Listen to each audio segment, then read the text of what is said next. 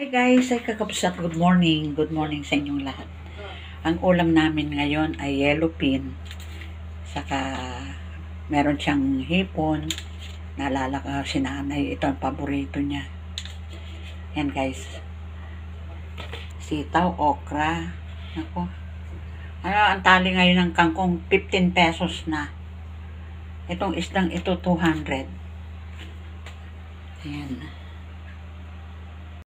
Ngayon ay day off ni Papa Raol, kaya siya ang magluluto ng aming ulam. Guys, ayan o. Oh. Meralco billing na naman to. Ayan. Magkano na kayo sa kabila? Hindi, magkakawa na yun. Yung bacon lang ba? Wala pa naman lang. Dito sa bahay ay 1393 ay 1 1395.73. Dito sa kabila ay 8 pesos and 33 centavos. Kaya pala yung yung nagre-reading no, no. Ilang beses niyang inulit?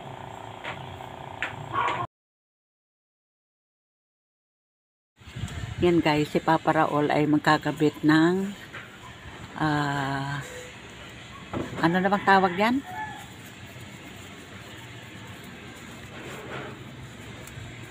Ha? Ano tawag yan? PBC. Yan, PBC. Idudugtong doon sa alulod. Kasi guys, kakabsat kanina, biglang lumakas ang ulan. Nako. Magsak ko sa baba dyan, si Gula. Oo. Nakayo po. tumulo sa baba. May tigu, ay may meron na siyang kwan dito. Ano yan, yung ah, PVC. Kaya lang, ang baksak ng tubig doon sa yero. Kaya ang gagawin niya, dudugtungan niya ng PVC at yung tubig doon na sa labas. Doon na. ah, hindi na babaksak sa yero. Kasi syempre sa dami ng tubig na nanggagaling doon sa taas, galing sa bubungan, baksak lahat dito. Kaya ayan.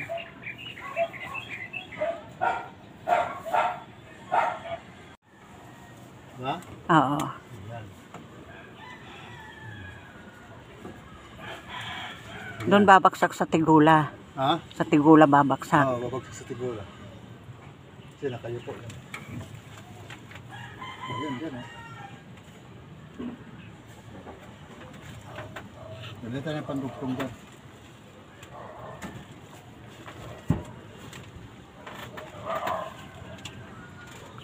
Ditris. Ditris yun.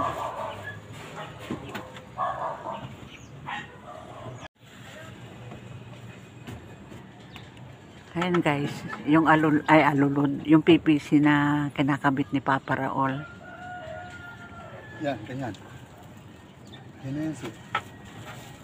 Okay na yan, yan. Hindi masyado naka Hindi nakalabas siya. Ah, hindi naka ano.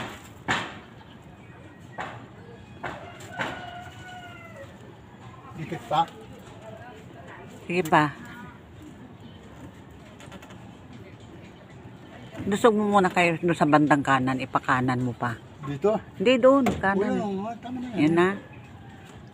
Yun lang ang dulo. Okay. Ha? Mm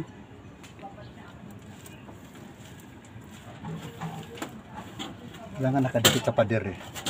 Kasi may suminto ba? Tingnan mo nga. Baka naman masagwang tingnan. Ha? Baka masagwang tingnan. Kapit ka dyan. Yan. Paling mo kaya yung pinakabunganga. Dito pa ganun? Pag ano mo, pakanan mo.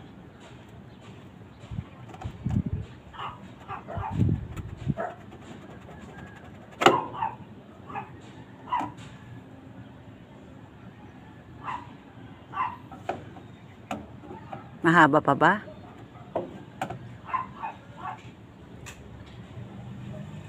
Bawasan natin konti lang. Sige.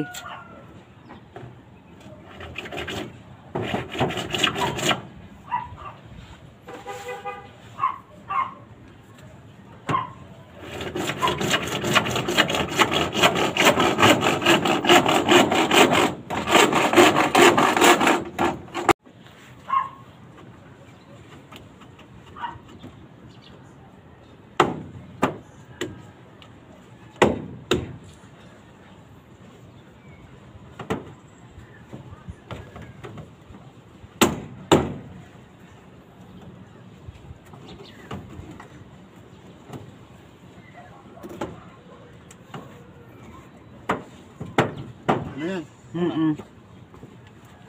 Ayos.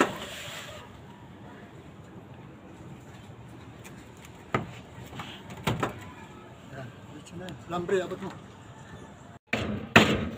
Ano yung pa ako? Lal- mamimili pa ako? Tama na yan.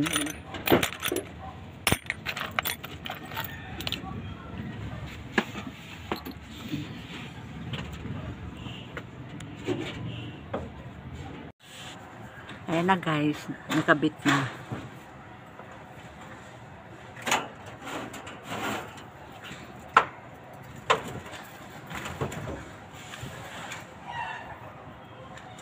Guys, kakabsat. Ang nilabhan ko hindi natuyo. Ayan. At yung aming kortina, ayan, nabasa din sa ulan. Kasi itinggi ng ulan ba. Ayan. Kaya nilaglag ko na muna. Si Papa Raul ay nasa bubungan, naglalagay ng Volcasil kasi yung mga pinagpakuan niya noon hindi niya pa nalagyan ayan si Bugoy kinalbo na ayan ganyan ka na Bugoy halika rito oh. Bugoy